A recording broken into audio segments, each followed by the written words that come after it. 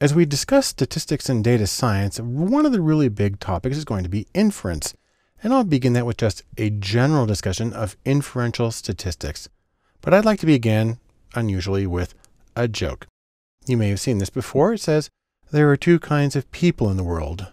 One, those who can extrapolate from incomplete data. And the end, of course, because the other group is the people who can't. But let's talk about extrapolating from incomplete data or inferring from incomplete data.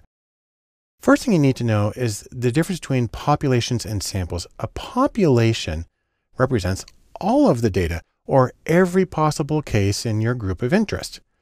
It might be everybody who's a commercial pilot, it might be whatever, but it represents everybody in that or every case in that group that you're interested in. And the thing about the population is it just is what it is it has its values, it has its mean and standard deviation. And you are trying to figure out what those are because you generally use those in doing your analyses. On the other hand, samples, instead of being all of the data, are just some of the data. And the trick is they're sampled with error. You sample one group and you calculate the mean. It's not going to be the same if you do it the second time. And it's that variability that's in sampling that makes inference a little tricky. Now, also with inference, there are two very general approaches. There's testing, which is short for hypothesis testing. And maybe you've had some experience with this. This is where you assume that a null hypothesis of no effect is true. You get your data and you calculate the probability of getting the sample data that you have if the null hypothesis is true. And if that value is small, usually less than 5%, then you reject the null hypothesis, which says really nothing's happening, and you infer that there is a difference in the population.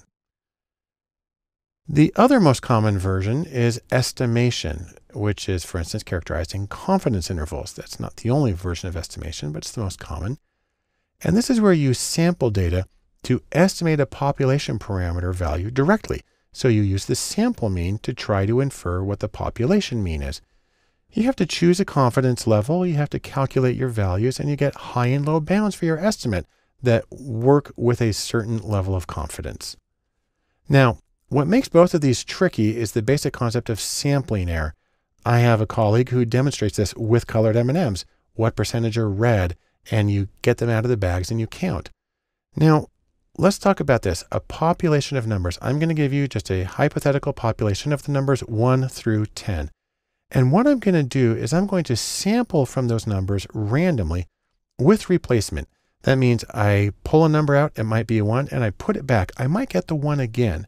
So I'm going to sample with replacement, which actually may sound a little bit weird, but it's really helpful for the mathematics behind inference. And here are the samples that I got. I actually did this with software. I got a 3, 1, 5, and 7. Okay, fine. Interestingly, that is almost all odd numbers, almost. My second sample is 4, 4, 3, 6, and 10. So you see I got the 4 twice, and I didn't get the 1, the 2, the 5, the 7, or 8, or 9. The third sample, I got three ones and a 10 and a 9. So we're way at the ends there. And then my fourth sample, I got a 3, 9, 2, 6, 5. All of these were drawn at random from the exact same population, but you see that the samples are very different. That's the sampling variability or the sampling error. And that's what makes inference a little trickier. And let's just say again, why the sampling variability, why it matters. It's because inferential methods like testing and like estimation try to see past the random sampling variation to get a clear picture on the underlying population. So in sum, let's say this about inferential statistics. You sample your data from the larger populations. And as you try to interpret it, you have to adjust for error. And there's a few different ways of doing that. And the most common approaches are testing or hypothesis testing and estimation of parameter values.